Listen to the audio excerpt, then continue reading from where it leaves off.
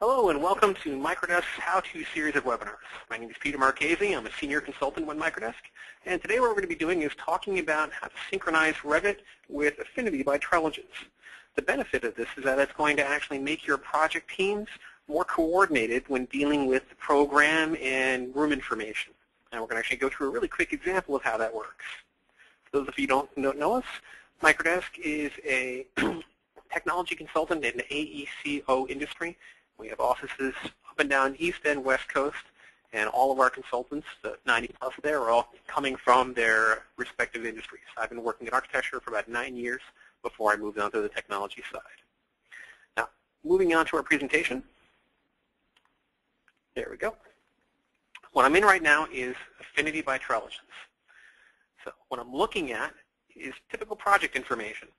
So this has things like the project name, scenarios, like different design options, if you're familiar with Revit, contact information, budget, all that. What it also does is carry information that a lot of people tend to use Excel for. So this is looking at my project program. So I've got my overall building. I've broken things down into two different kinds of spaces, my offices and my vertical circulation.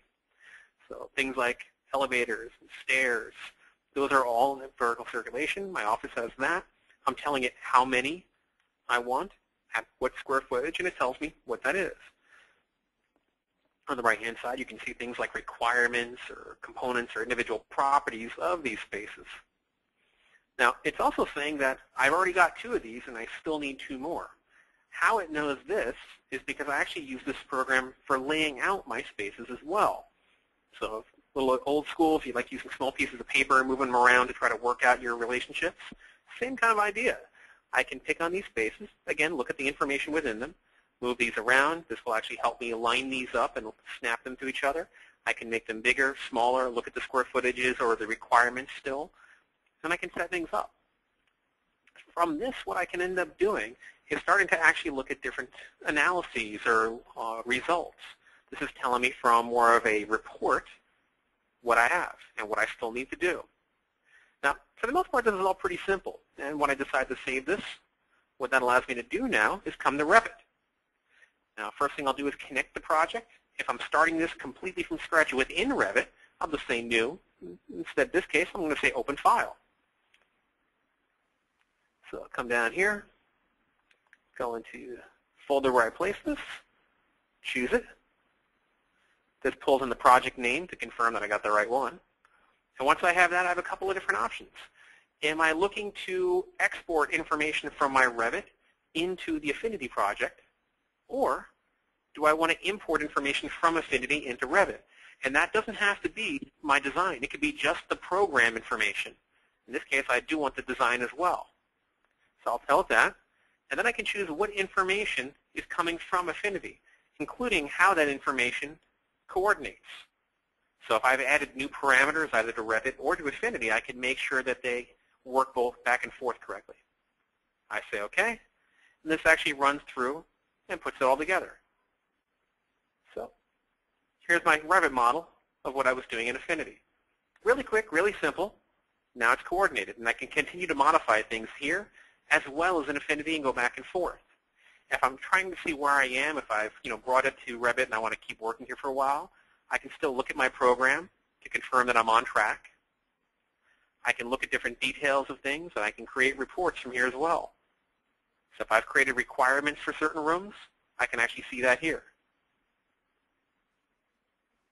So a lot of information that I can put in here.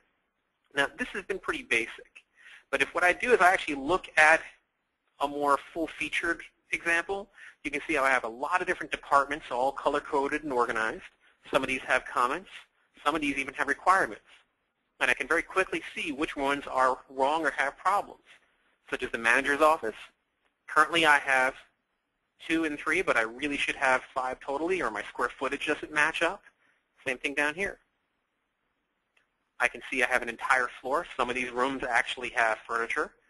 I can have multiple floors those spaces with elements inside of it can be coordinated here, and I can even have this build the room with the furniture in Revit when I synchronize this. I can do reports that actually show me relationships between things in terms of what my program area is versus the actual area, how they're organized and laid out. I can do room data sheets, gives me overall cost of furniture, information, uh, what all my equipment in the room is going to be.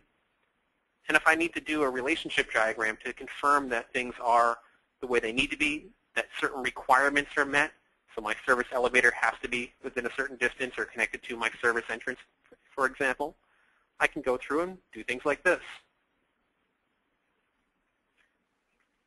So this is just a couple of really quick examples of how we can take advantage of the tool and how it actually works with other programs.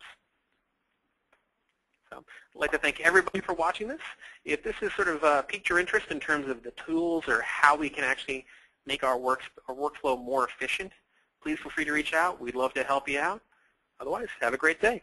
Thank you very much for your time.